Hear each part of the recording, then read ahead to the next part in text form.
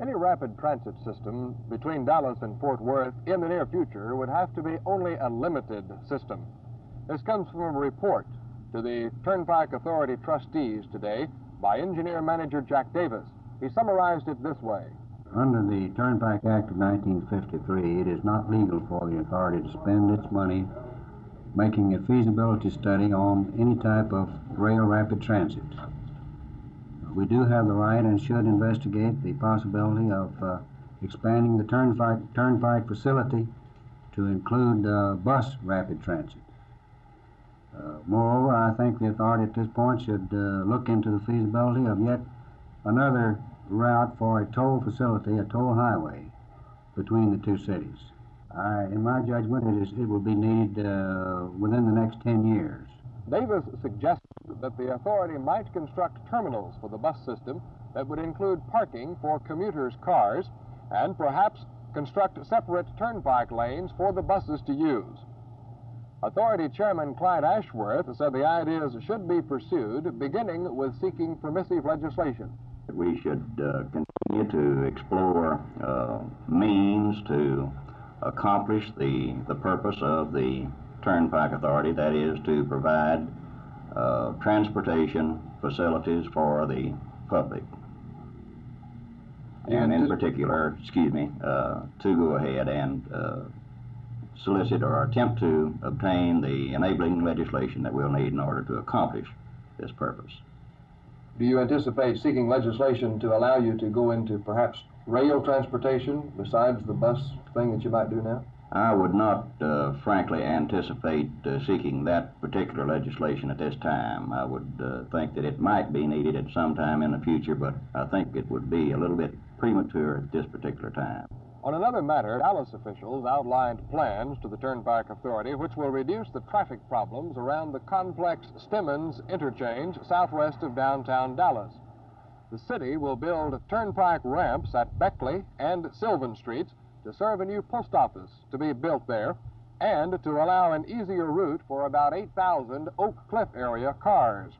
In addition, the state plans to add a new southbound and a new northbound lane to Stemmons in the bottleneck area. All these things take time. There will be no action next week or even next month. But it's this kind of thinking, planning, working, and overcoming obstacles that will help the Dallas Fort Worth area progress and perhaps avoid the critical problems we hear so much about from some of the metropolitan complexes. This is Roger McDonald, Channel 8 News.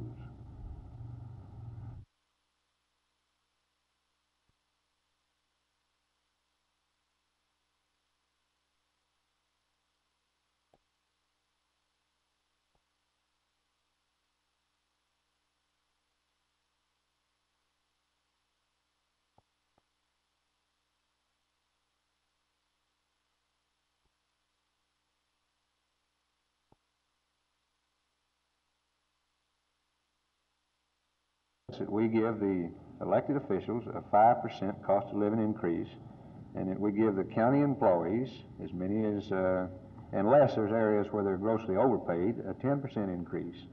Uh, that we do accept the proposal that TCU made on classification uh, in the Sheriff's Department and the District Attorney's Office. Uh, there's no way to estimate this uh, in, uh, with any degree of accuracy until uh, Mr. Williams works out all these proposals we give him, and then he comes back and shows us what we're talking about. I would just uh, generalize and say that uh, somewhere in the neighborhood of $600,000.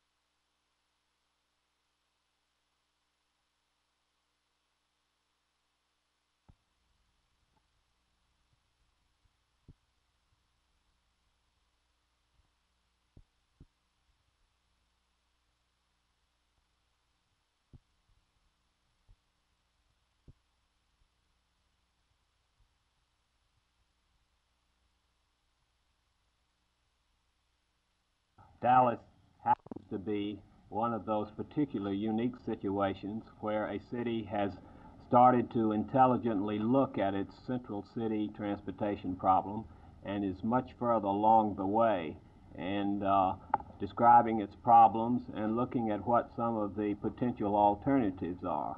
Now, if we have a viable rapid transit system, doesn't this mean that all the expressway money is spent uh, almost for nothing? No, that's uh, not uh, uh, uh, highway development and automobile transportation will remain the substantial and major part, method of moving people and goods in and, in and around ur- urban areas.